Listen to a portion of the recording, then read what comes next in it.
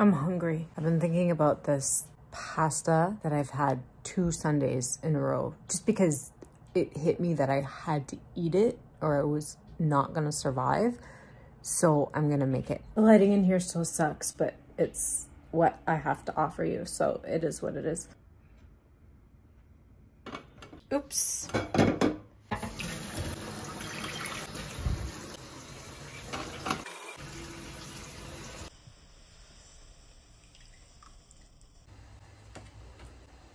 I think people almost want complicated recipes. It's almost more about the fantasy of cooking, whatever it is.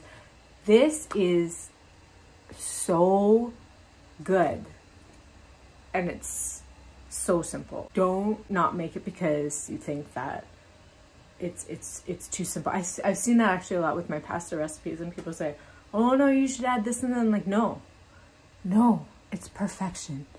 You just, you just need to try this. So, okay. This one is, there's usually a one that I like a lot more, the Parmesan, but it was out at the store, so I'm using this one. Putting my ingredients in the bowl, just this tickler cheese.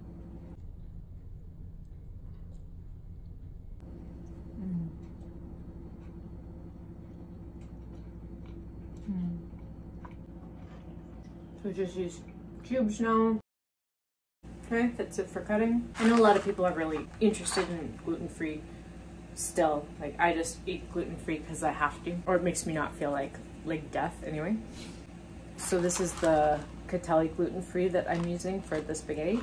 And then to finish off my sauce mixture, I'm just gonna add some apple cider vinegar.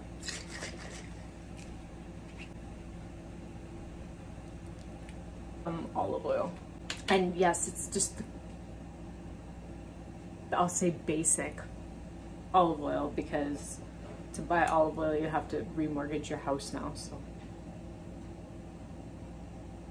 Okay, and some fresh cracked black pepper and some salt.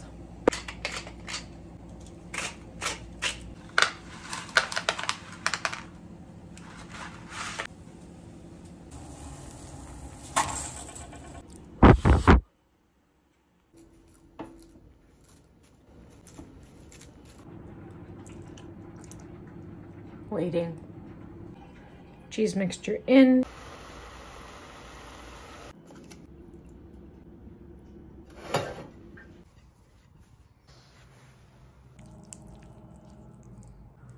See just all the cheese.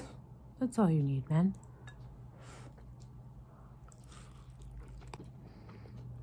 Mm.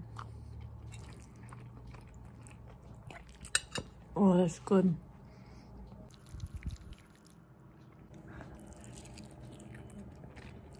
Mm.